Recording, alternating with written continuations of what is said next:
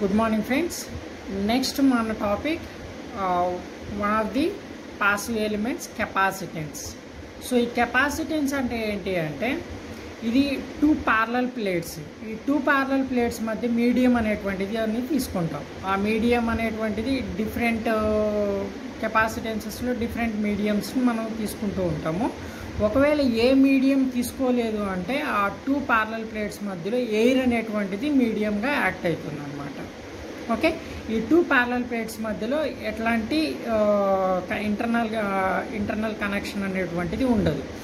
So ఈ two parallel ప్లేట్స్లో ఒక ఒక ప్లేట్ని మనము positive terminal of the battery connect చేసినట్లయితే అది పాజిటివ్గా యాక్ట్ అవుతుంది. ఇంకొక ప్లేట్ని మనం నెగిటివ్ టెర్మినల్ ఆఫ్ ద బ్యాటరీగా కనెక్ట్ చేస్తే అది నెగిటివ్ ప్లేట్గా యాక్ట్ అవుతుంది. అంటే ఇనిషియల్గా చెప్పాలంటే ఈ టూ పార్లల్ ప్లేట్స్కి ఎట్లాంటి పాజిటివ్ అండ్ నెగిటివ్ అనేటువంటి ఎలాంటి ఇండికేషన్ అనేటువంటిది ఉండదు. సో ఈ కెపాసిటెన్స్ని మనము బ్యాటరీ కనెక్ట్ చేసినప్పుడు మాత్రమే ఏ ప్లేట్ని ఏ బ్యాటరీ యొక్క ఏ టెర్మినల్ కనెక్ట్ చేసామనే దాన్ని బేస్ చేసుకొని ఈ కెపాసిటర్కి ఆ పర్టికులర్ ఛార్జ్ అనేటువంటిది ఇండికేషన్ వస్తుందన్నమాట. అంటే పాజిటివ్ ఛార్జ్ పాజిటివ్గా యాక్ట్ అవుతుందో ఒక ఏ ప్లేట్ పాజిటివ్గా యాక్ట్ అవుతుంది ఏ ప్లేట్ అనేటువంటిది నెగిటివ్గా యాక్ట్ అవుతుంది అనేటువంటిది అక్కడ మనకి ఇండికేషన్లో తెలుస్తుంది అనమాట అయితే ఈ కెపాసిటెన్స్ యొక్క మేజర్ ఫంక్షనాలిటీస్ ఏంటి అంటే ఇక్కడ టూ మేజర్ ఫంక్షనాలిటీ. ఇండక్టర్కి ఏ విధంగా అయితే మనకు టూ మేజర్ ఫంక్షనాలిటీస్ ఉంటాయో కెపాసిటర్కి కూడా టూ మేజర్ ఫంక్షనాలిటీస్ ఉంటాయి. అందులో మొదటి మేజర్ ఫంక్షనాలిటీ ఏంటి అంటే which opposes the sudden change of voltage ఇండక్టర్లో ఏంటి అంటే అది సడన్ చేంజ్ ఆఫ్ కరెంట్ని అపోజ్ చేస్తే ది ఆపోజిట్ అన్నమాట. ఇది సడన్ చేంజ్ ఆఫ్ వోల్టేజ్ని అపోజ్ చేస్తుంది. సో అదేవిధంగా అక్కడ ఇండక్టర్లో విచ్ ఇండక్టర్లో ఎనర్జీ అనేటువంటిది ఎలక్ట్రో మ్యాగ్నెటిక్ ఫీల్డ్లో స్టోర్ అయితే ఇక్కడ ఏమవుతుంది అంటే ఎలక్ట్రోస్టాటిక్ ఫీల్డ్లో ఎనర్జీ అనేటువంటిది స్టోర్ అవుతుంది.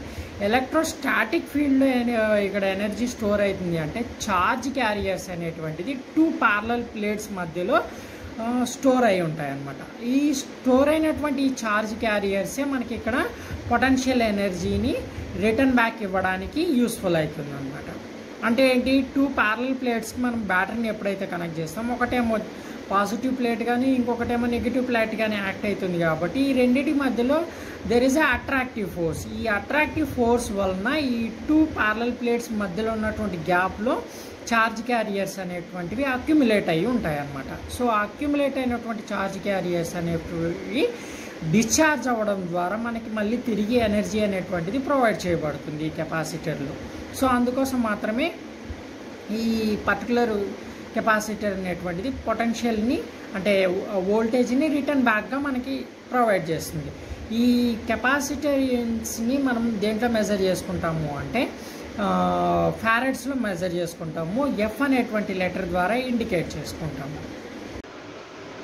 నెక్స్ట్ మనం ఎలిమెంట్ గురించి నెక్స్ట్ ప్యాసివ్ ఎలిమెంట్ గురించి మనం డిస్కస్ చేసుకున్నాం. దాంట్లో మనకి కెపాసిటెన్స్ అనేటువంటిది థర్డ్ ప్యాసివ్ ఎలిమెంట్ ఈ కెపాసిటెన్స్ యూనిట్స్ వచ్చి ఫ్యారెట్స్ దీన్ని ఎఫ్ అనేటువంటి లెటర్ ద్వారా మెన్షన్ చేసుకుంటాము. Capacitance is a two parallel plates and dielectric medium దీని యొక్క సింబల్ అనేటువంటిది ఈ విధంగా ఉంటుంది.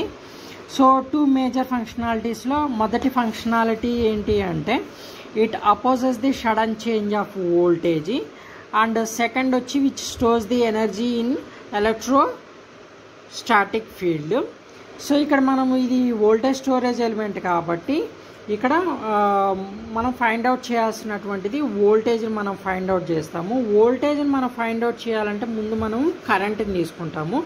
Charge Q equal to CV అనేటువంటిది కాన్స్టెంట్ ఫార్ములా అది కెపాసిటెన్స్కి ఆ ఫార్ములా అనేటువంటిది ఇండికేషన్ ఉంటుంది. ఇక్కడ క్యూ అంటే ఛార్జ్ సి అంటే కెపాసిటెన్స్ వి అంటే వోల్టేజ్ దాన్ని బేస్ చేసుకొని current I is equal to C into dv by dt అక్కడ వచ్చి ఫస్ట్ మనం కరెంట్ని క్యాలిక్యులేట్ ఇండక్టర్లో కరెంట్ని క్యాలిక్యులేట్ చేయడానికంటే ముందు వోల్టేజ్ని తీసుకున్నాము. సో అందువల్ల అక్కడ ఇండక్టెన్స్ దాని యొక్క కెపాసిటీ ఇండికేట్ చేస్తూ ఎల్ అనేటువంటి letter and di by dt తీసుకున్నాం. ఇక్కడ ఐ అనేటువంటి తీ ఆల్రెడీ తీసేసుకున్నాం కాబట్టి ఇంకా మిగిలింది ఏం ఉంటుంది? వోల్టేజ్ మిగిలి ఉంటుంది కాబట్టి ఆ వోల్టేజ్ని మనం ఇక్కడ తీసుకుంటాం. ఆ వోల్టేజ్ కూడా చేంజ్ ఇన్ వోల్టేజ్గా తీసుకుంటాం. ఎందుకంటే మనకి ఇక్కడ చేంజ్ ఇన్ వోల్టేజ్ ఎందుకు తీసుకుంటున్నాము? కెపాసిటర్ అనేటువంటిది వోల్టేజ్ స్టోరేజ్ ఎలిమెంట్ కాబట్టి ఆ వోల్టేజ్ స్టోరేజ్ ఎలిమెంట్ కాబట్టి ఆ వోల్టేజ్ అనేటువంటిది అది స్టోర్ చేసుకుంటుంది కాబట్టి ఆ స్టోర్ చేసుకునేటువంటి వోల్టేజ్లో చేంజ్ చేంజ్ వస్తుంది కాబట్టి ఆ చేంజ్ ఇన్ వోల్టేజ్ మనం డివి బై డిటీగా మెన్షన్ చేసుకుంటున్నాము. ఇక్కడ మనం తీసుకున్నటువంటి కెపాసిటర్ యొక్క కెపాసిటీని ఇండికేట్ చేస్తూ సి అనేటువంటి ఒక లెటర్ని తీసుకున్నాము. సో దీంట్లో మనకు కావాల్సింది ఏంటి? వోల్టేజ్ కాబట్టి డివిని మాత్రం రైట్ హ్యాండ్ సైడ్ ఉంచి సి అండ్ డిఈటీని మనము లెఫ్ట్ హ్యాండ్ సైడ్కి ట్రాన్స్ఫర్ చేసినట్లయితే కనుక ఇక్కడ ఏమవుతుంది అంటే కెపాసిటెన్స్ అనేది వన్ బై సి గాను ఐ ఇంటూ డిటి అనేటువంటిది మిగులుతుంది. ఇక్కడ డిఫరెంటియేషన్ ఉంది కాబట్టి ఆ డిఫరెంటియేషన్ పోవడం కోసం ఇంటిగ్రేషన్ తీసుకున్నట్లయితే V equal to one by C integration of zero to infinity I into dt అనేటువంటిది ఫైనల్ ఫార్ములాగా మనకి ఇక్కడ వస్తుంది.